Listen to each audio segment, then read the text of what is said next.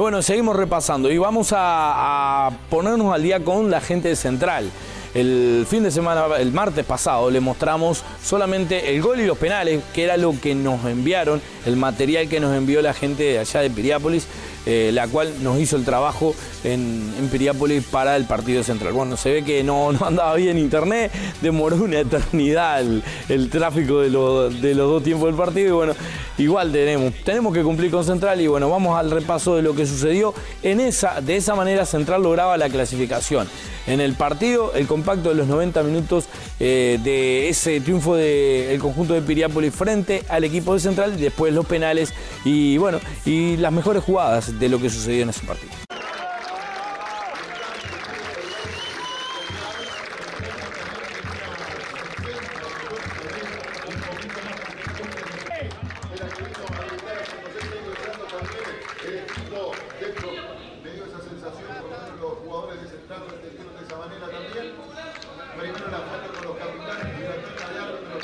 El pitazo y el comienzo, un central que venía con la ventaja del 1 a 0, los tres puntos, y un Piriápolis que tenía eh, de pique nomás salir a buscar ese resultado que le permitiera eh, salvar y pasar a la siguiente ronda de la Copa. Algo que le, habíamos quedado pendiente y teníamos que cumplir eh, con nuestra teleaudiencia. Al tiro libre por parte del el jugador Diego Ramos, la pelota que se va cerca del palo de Calero. Otro buen remate, otra vez Calero, no podía Abadí en el rebote y la pelota que se iba desviada. Cuando llegaba el remate otra vez de Diego Ramos, este muy buen jugador que tiene el conjunto de, de Piriápolis.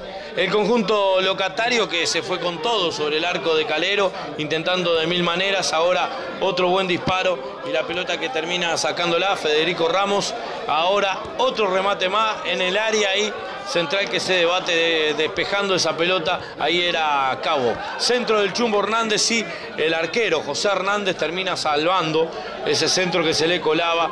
Eh, le pega muy bien a la pelota Hernández, no estoy descubriendo nada. Abadí que la aguantaba, la pelota que la recibía Ramos, el toque, Abadí, el remate y la pelota quedaba en Marcelo Moreira y termina despejando el defensa de central. El Oso Rodríguez, el cambio de frente, la pelota que la gana por arriba Alexis Noble y justo llega bien el arquero José Hernández ante que el cola Sebastián Gandini. Acá la deja algo exigida Moreira y sale Calero trabando eh, la posibilidad cuando se metía el jugador eh, Guillermo Moreno intentando eh, ganarle la posición a Calero y bueno, termina siendo una pelota de, de tiro de esquina. El centro bueno, fueron tres al cabezazo, ninguno le pudo entrar. Eduardo Hernández prueba al arco y bien José Hernández tirando esa pelota al córner.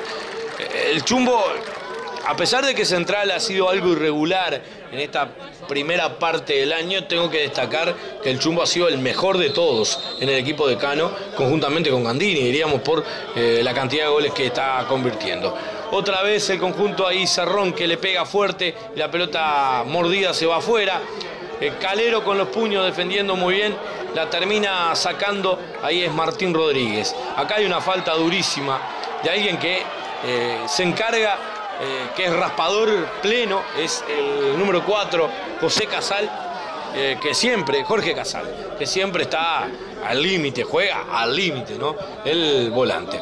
El final del primer tiempo, con un predominio por parte del equipo local y un, y un central que, ha tenido, que a fuerza de tiro libre se animaba a llegar. Y buen, buena cantidad de público de Cano se hizo presente en la cancha de Piriápolis. Ahí ven las imágenes de varias caras conocidas eh, que habitualmente van a acompañar al conjunto de Central. Y ya nos vamos a ir metiendo eh, al, en este segundo tiempo eh, donde el equipo de Cano va a seguir la misma tónica con la iniciativa Periápoli y Central tratando de sacar alguna contra. Pelota que se cierra, Badí que le echa al medio y entre Calero y el palo termina sacando cuando acechaba el jugador Veloso en una buena llegada del equipo de Piriápolis. Qué buena intervención de Calero, eh, porque se metía esa pelota con el cabezazo de Abadí. Eduardo Hernández con este tiro libre un remate que va en caída y son los puños del arquero, después hay falta, eh, pita el árbitro, pero vean cómo se cerraba esa pelota, asediaban ahí, eh, Cabó con, creo que era el, el, no me acuerdo quién es el otro jugador que no lo distingo. Tiro libre de Hernández y el arquero que contiene bien. Acá Hernández combinando con Martín Rodríguez. Se la lleva Martín Rodríguez, mete una buena bola al área. Lo tiene el cola, lo tiene el cola. Posición adelantada cuando Alexis no le convertía. ¿eh? Pero fina, ¿eh? fina, fina. Buena llegada de central, ahí lo vemos. Creo que da un paso, pero Estamos hablando de una perspectiva totalmente diferente a la que puede tener el asistente, pero fue buena la llegada de Central, bien el cola en el recurso que le daba Alexis Nole y este que definía, eh, que daba ese gol, cuánto iba a valer, ¿no? Era prácticamente lograr la clasificación. Veloso que gana una pelota en la mitad de la cancha, cruzándola para Ramos, eh, este que intenta y la falta dura, dura de Moreira, cuando intentaba la diagonal eh, otro que juega al límite, Marcelo Moreira, eh, pero dámelo porque es jugadores eh, que, que juega al límite, pero conoce cuáles son.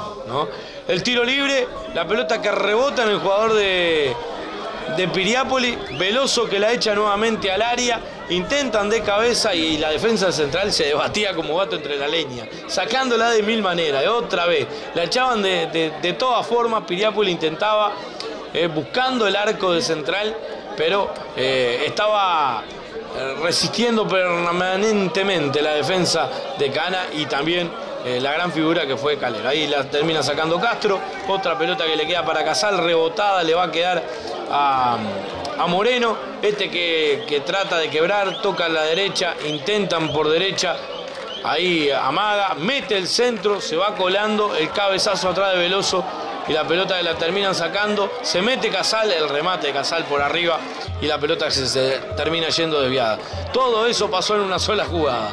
Y acá otra vez el equipo de Piriápolis se va con todo, lo tiene Moreno, lo tiene Abadí y Escalero, Escalero que lo traba justo cuando se metía, primero era Moreno, que cae entre los dos, no hay nada, y acá traba justito Calero cuando Abadí ya se hacía, saboreaba el gol. Acá una buena eh, individual de Martín Rodríguez, termina tirando al arco y el palo se lo niega al indio Martín Rodríguez cuando se metía esa pelota eh, en un enganche bárbaro, mete ahí y después saca el disparo. Convengamos, para mí levanta el centro, pero la pelota se va cerrando tanto eh, y cae peligrosísimamente y la termina ahí, el palo y el arquero, que iba bien. El centro de Ramos, el despeje de, la última zona de central le queda para Casal, saca el disparo y Calero, el palo y Calero, señores. El palo y Calero, señores. Eh, como en el casín. Carambola y palo fue. Vean cómo pica esa pelota complicándole la existencia a Calero. Manotazo, palo y otra vez Calero como que anticipaba algo que podía estar eh, sucediendo después. Otra vez entrar el ataque, el remate, y esa fue buena del conjunto de Cano, eh. esa fue muy buena del conjunto de Cano, eh, como meten esa pelota directamente sobre el arco y ahí el arquero que se estiraba con todo lo que podía, si iba muy esquinada, era una buena situación para el conjunto central. Otra llegada y otra vez Calero, gigante en el arco Calero, agrandándose en las difíciles. Centro de Abadí, el cabezazo y otra vez Calero. Genial el arquero que se estira nuevamente cuando un centro medido, Moreno que va anticipando porque llega a saltar justo en el momento exacto y ahí aparece, notable, Calero eh, agrandándose todo lo que puede. Tiro libre de Hernández, el arquero a medias, y después el que la termina sacando en su propia área es Abadí. La termina perdiendo con Matías Chacón, este que intenta, pero lo marcan. Después Hernández que no puede. El que la gana es Martín Rodríguez, otra vez para Hernández. Arma de nuevo el juego central. Qué buena pelota para el Chapa. El Chapa que engancha lo tiene y se le va larga. Se le va larga. Centro al área. Cabezazo y otra atajada soberbia eh, de arquero Calero ante Veloso un atajadón. Después la falta. me quedo primero con la tajada. La tajada es espectacular. La tajada es espectacular. Y después, para mí le quita la pelota. Termina cobrando falta el árbitro del encuentro. Y acá van a hacer el gol. Vean el centro, al área. Me dijeron que había rozado en Moreira, pero Moreira no tiene ningún tipo de intención.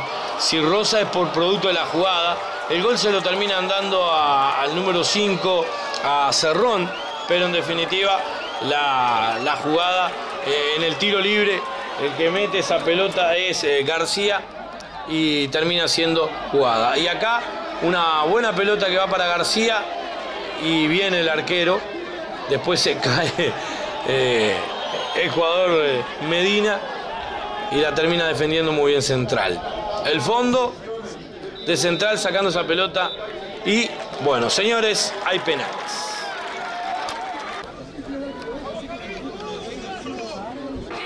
Primero, Martín Rodríguez que falla, contiene muy bien el arquero Hernández. Y acá el que contiene es Calero, que para mí le pega a la tierra eh, Moreno y eh, termina conteniendo Calero. Qué bien. Cada vez más jugador. Jugador Hernán Delgado. No le pesa nunca la camiseta. Acá el remate y la pelota que contiene. Cuando Cerrón remataba, una vez más Calero se agiganta. Noble que no perdona. Y Central que ahora estaba arriba. 2-0. Y acá no falla el número 9, eh, Abadí. Después que convierte es el Maxi, estaban 3 a 1, Central con esa ventaja de un penal más convertido, porque le tocaba el turno y el remate abajo bien dirigido por parte de Veloso. Bien contra el palo, Calero al otro lado. Pero la gran chance la tenía Central por intermedio del chumbo. Sí lo hacía. Hasta mañana, vida mía. Sí, señor. Ahí está el remate de Eduardo Hernández, que aseguró su penal. Y Central clasificó y está entre los 16 mejores con una actuación soberbia. Por algo los compañeros lo abrazan a Mauricio Calero, la gran figura que contuvo tres penales. Ahí está el festejo de la gente de Central, eh, de los jugadores y también va a estar el festejo de su gente, que en muy buen número concurrió a Piriápolis para ver a su equipo clasificar. Central está entre los 16 y la gran figura. Ahí está, Mauricio Calero.